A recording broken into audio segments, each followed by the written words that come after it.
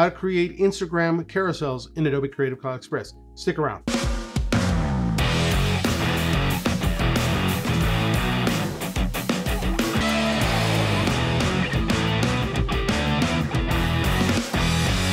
Hello everyone and welcome. My name is Claudio. So glad that you're here. If you are a first time visitor, second time visitor, a repeat visitor, thank you so much everyone.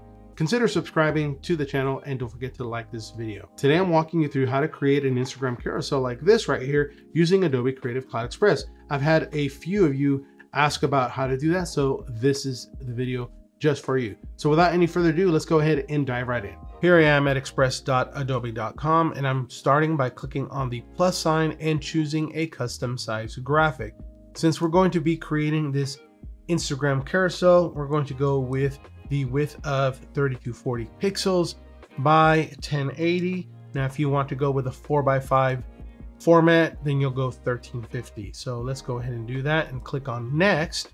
Next, we'll click on photos and import the image that we're going to be using to split up. And that is going to be this one here. Let me go ahead and make this canvas just a little bit smaller so I can see everything. When I click on this picture, what we're going to do is stretch that out and make it fit into this format right about there. I know some of the image has been cut off, but that's okay. That's what I'm going to choose and that's about right there. Now what I'm going to do is import this overlay that I created to help me with the split. And this is this right here. And if you have a hard time seeing that, just go to your layers here and choose the topmost layer because that's the one I've just added. And let's go ahead and make this a bit smaller. Hold the space bar and what we're going to do is we're going to bring this, I don't know if you can see there's some pink lines there.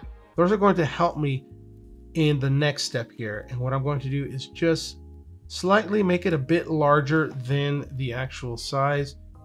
There we go. A little bit is bleeding out. That's fine. Let me zoom in to show you. Uh, it's right here on the edge. You can see a little bit of that pink line is bleeding out there as well as here. I don't want those in view. All right, so now I'm ready to proceed to the next step, and that is to download this image. I'm going to choose PNG and go ahead and click start download and choose solid. You can go ahead and go with JPEG as well, that will work. When I come back in the future, all I will do is click on this layer here and choose replace and swap out the image. But for now, what I'll do is click on home because I'm gonna show you the next step, how to cut this up. So we'll go ahead and choose the custom size graphic again. And this time we're going to go with the social post, Instagram 1080 by 1080 and click on next. And now what I'm going to do is import that image that I downloaded just now. We're going to choose that one for our example here. Let's go ahead and bring that one in. And as you can see, it is a little bit smaller, but that's fine. We're going to increase that size. And basically what I'm going to do here is size it up so that it fits 1080 by 1080 square there and adjust it. As you can see, some of those pink lines are still showing and that's because it's still smaller. This is going to be a little bit of tweaking here. So let's go ahead and use our arrow key. So basically what I'm trying to do is size it up so that pink is barely noticeable there. It's not going to be 100% perfect. That works for me right there. And that's going to be the middle picture. So what I'll do here is click on download and I'll go ahead and go JPEG here. So I've got the middle one done. And now what I'll do is click here and hold the space bar and just slide this over. Actually, not the space bar, just click and hold it over. And same thing here. We're going to use the arrow key to move that pink line out of the way. And I'll download that first one. And lastly, we'll choose the last section here. And let's go ahead and snap that. And there we go. we click download JPEG. And now I should have all three ready to go. So let's see how it looks like on Instagram. So here I've got Instagram ready to go. I'll select my photos. I've got the three here. So let's go ahead and choose those three.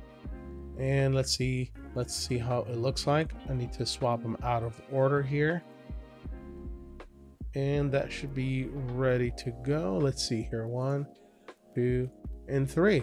And boom, I've got it ready. If I click on next, I'll go ahead and skip that. But here we go. I have all three pictures ready to share as a carousel in Instagram. And that's how to create Instagram carousels with Adobe Creative Cloud Express. Now it's your turn to create some, and if you do happen to share some on social, please do tag me. If you have any comments or questions about this video, please drop it in the comment section below. Don't forget, like, subscribe, click the bell to be notified for future videos, and please do share this video with others. Thank you once again for stopping by, and as always, be good to one another. Peace.